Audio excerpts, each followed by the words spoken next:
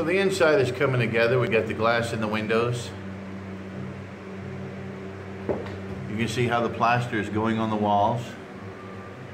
I still have to tape these joints right here with this super tape.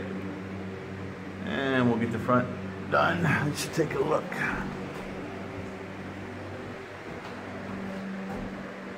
Coming together nicely.